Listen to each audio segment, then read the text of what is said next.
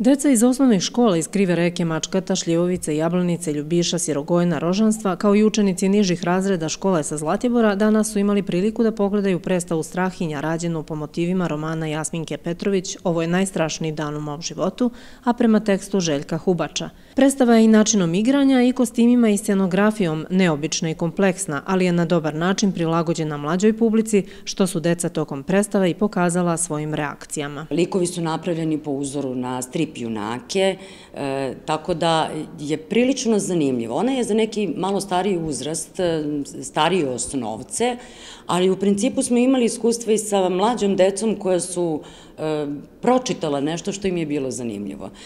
Tako da je veoma šarena i jako poučna.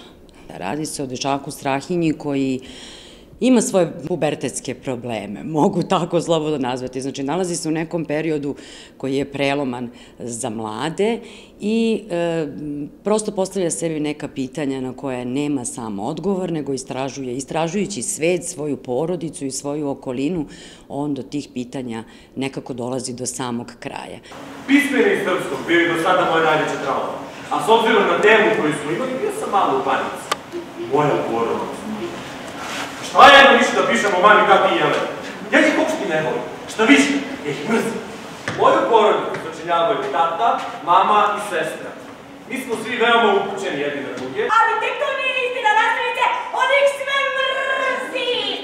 Komad je nastao u koprodukciji Puls teatra Lazarevac, Gamba produkcije Beograd i Inovadora Stockholm i Švedske, a režiju potpisuje Šari Sabel Strandmark. Ulogu Strahinje tumači Dimitrije Stajić, a ostale uloge su poverene glumcima Puls teatra iz Lazarevca. Ova predstava je dobila i nagrade na, na Malom Joakimu. Ivica Klemenć je upravo dobio nagradu za scenski pokret i naš glavni e, glumac Dimitrije Stajić koji tumači ulogu Strahinje je dobio nagradu za najboljeg mladog glumca.